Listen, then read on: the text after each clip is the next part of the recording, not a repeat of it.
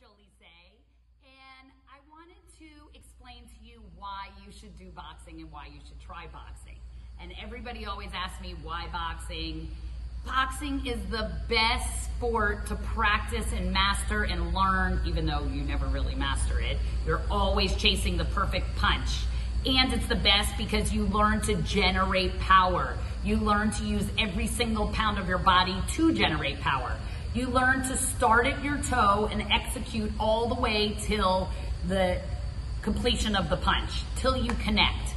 It is so amazing for life too because it creates awareness all over. Boxers see behind their head. they see, they know what happens before it even happens. They plan, they keep their eyes open in a car crash you get super strong. Nobody is strong and fit like a boxer because they're using every pound of their body. And one punch will knock you out.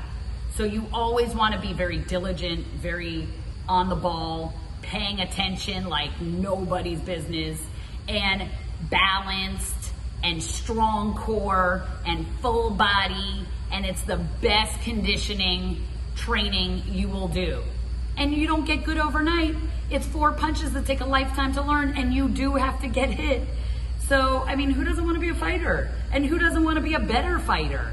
And it's so good. You know why? Because everywhere you go, there you are. So, really, you're only fighting yourself. Everywhere you go, there you are, and you want to be the winner of your own story, for sure. So, battle, fight, and win.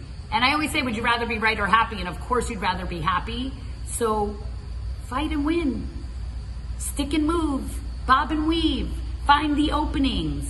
So being right is like a resisting thing. I have to do it. I have to do it. I have to be right. Boxers don't have to be right. They find openings. They, they don't have to be right. They stick and move. They just are right because they find the opening. They're like water, right? So we don't resist. We stick and move and bob and weave and find openings. And when we don't like what we're dealing with that's in front of us, we pivot. We get a whole new scenario. So you must not only try boxing, commit to doing boxing. Boxing is my life. I love it. I highly recommend it. Get into it and really live with it always. Make that your workout. It's the best workout ever.